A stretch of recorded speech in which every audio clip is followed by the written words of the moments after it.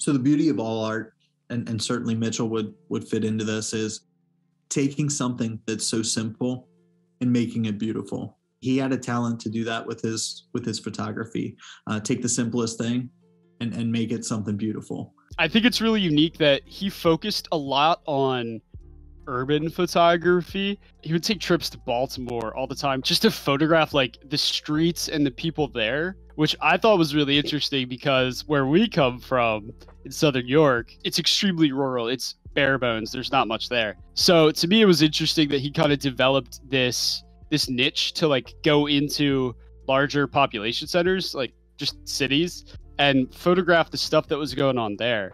I think his photos are pretty abstract. You know, it's up to interpretation what he's trying to capture in all of his photos. I know he does a lot of um, like cityscapes kind of stuff, and it's not always like the beautiful skylines. You know, sometimes it's rougher areas of town. I love how raw they are because he does mostly cityscapes and not showing the downtown areas, but showing the actual like places. And I love how he chose to do those instead of like the pretty places. Audiences need to see how a city actually is and how people actually live. And I just love how he himself chose to show just like the raw stuff. I thought it was really cool because like it kind of was just taking images of like everyday life and just kind of taking it from the perspective of just being like a person around seeing all this and I think that's something I really enjoy because like the reason I love being in Pittsburgh so much is little moments like that, just seeing like lots of human interaction and stuff just going on. Like life is is beautiful, and I think that he really thought that too, and I think he did a great job of capturing that.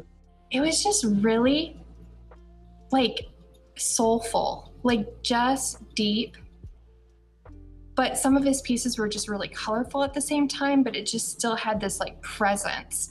Um, I just remember this one shot that he had, and it was i want to say it was a black and white um, picture but it, was just so like raw but it was just so professional looking and it just really stood out to me of like wow he's like far beyond his years in regards to his talent. Uh, it seemed like something that he like wasn't trying to be uh what would you call it? Too much quote unquote. Like he was just like basically showing emotion through like the scenery of a, of a place really well and um, also his daily his daily photos. That's right. He was always obsessed with the moon. I always loved how how high quality he could get of the moon. Sometimes he, he had some really good pictures.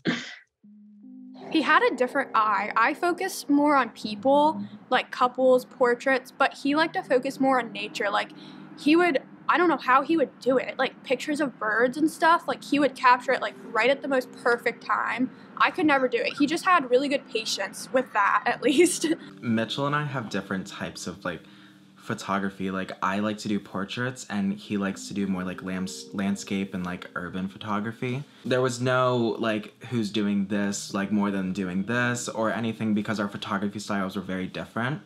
And it was also really interesting to like look at each other's like pictures. Um, he would look at mine and I would have all these portraits and he would just hype me up with those, which was so fun. And then I would hype up his like portraits of like urban photography and everything.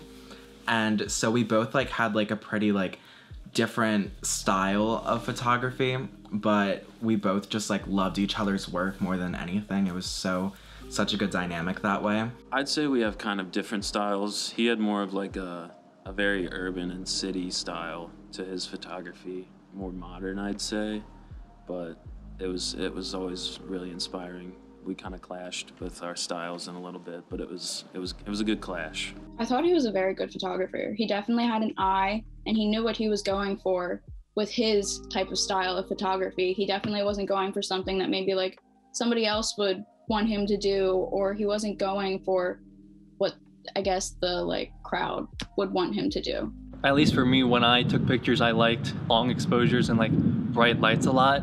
But I feel like he took more to either like nature or urban photography, which is really nice because it's like I feel like that's kind of what he likes, you know, urban and hip hop and kind of this, um, you know, kind of style that's like still young, but it's out there. It's expressive. It's different, and I, I, I liked it a lot. You know, he would always send me pictures whenever he took. He'd be like, "Yo, what do you think of this picture?" And like, I'm about to post it. Like, check it out or something. It was always nice to just see something new from him like every week. Because he always would take crazy pictures. He would always like, what about this angle? What about this? He would always try to do a bunch of different stuff, which I love. That's what that's what it needs to be is something that's crazy like that. But then with that, I saw he could go so much further. Just from the first pictures he took to the last, there was a huge dramatic change, and I didn't really see that stopping anytime soon anytime we were doing anything together, he always had his camera, no matter what kind of thing it was. But he was just all about capturing things in the moment. Like I'd ask him like quite a bit, like to go out and take pictures, because like I saw like his photography Instagram with like where he posts like basically everything, like the moon, birds, like people he's taking pictures of. I just thought it was really sick because he like he could capture some really like dope pictures and stuff. You know, I think with with Mitch. Um, he was that kid that uh, I admired in the fact that he really had a nice balance to life uh, and school. I think some kids come in and for them it's you knock everything out of the park. Um, every assignment, you know, has to be completed to perfection.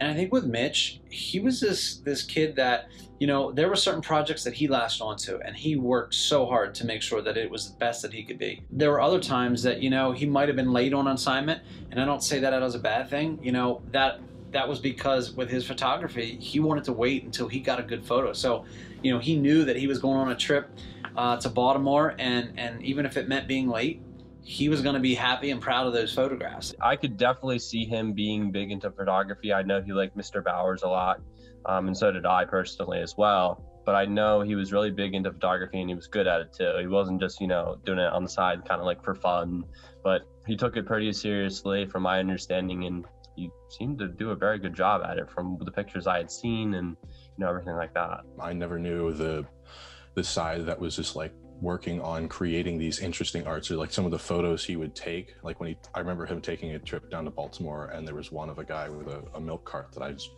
i really liked the photo and i just i never knew that there was that side to mitchell up until high school and so it was interesting seeing that. At, at first to me it was it was pretty bizarre. I didn't really expect Mitch to be like that sort of like artistic person, that sort of person that uh, is super super creative. But looking back, it it makes a lot of sense. Like his his sort of uh, relation to art sort of mirrors his like soccer style, which is very artistic, flashy. I'm really glad I was able to see that side of Mitchell. It's something I never thought I would have saw, but something that I'm really glad that I did. When he started talking about photography, um, and his art.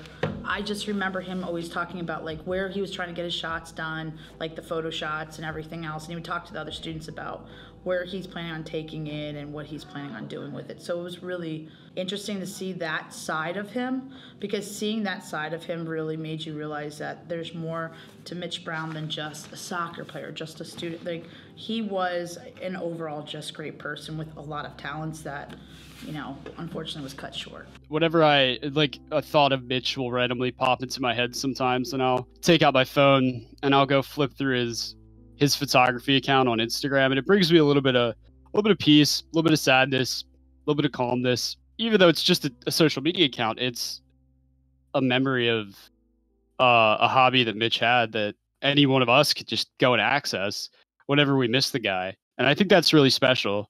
Like I could just whatever I miss Mitch, just go take a look at his photos and kind of appreciate something that he worked very hard on that is still here for all of us to see.